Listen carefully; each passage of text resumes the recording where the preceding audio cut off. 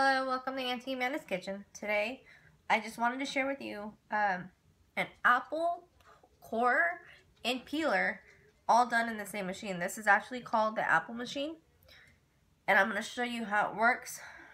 It's going to have three prongs. This machine actually call, came with spare prongs, a spare uh, peeler, and a spare cutter.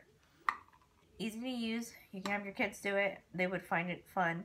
And it actually suctions to the right type of surface, which this one actually suctioned down for me. So no matter what, right now, I can't move it. So what you do is you pull this all the way out.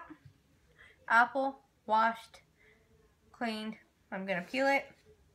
This is just my plate. I just put it there so I can catch the rinds. Shove it on the three prongs. And just remember when you're doing this, it's sharp. This is sharp, this is sharp. You can cut yourself. So what you do to save some time, it's just a gadget you spend. Even though it's suctioned down, you want to hold it down just so in case it loosens up so you don't spill it, make a mess, something like that. So what we're going to do is you just turn it. Simple. See how it's, how quick was that? Isn't that awesome? What we do with our outside of our apple, we use it for compost. And then here is your apple.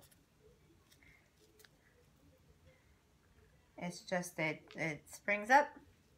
Now, what a fun way to do with this is we can cut it.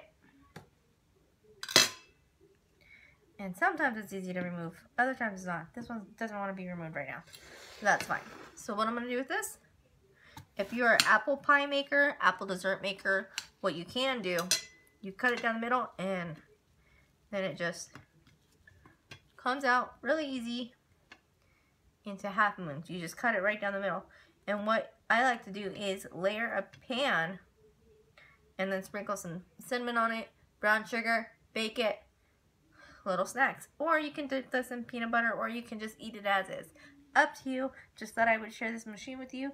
It's really awesome, really easy, and it's a gadget that I like. Thank you for watching Auntie Amanda's Kitchen. Have a good day.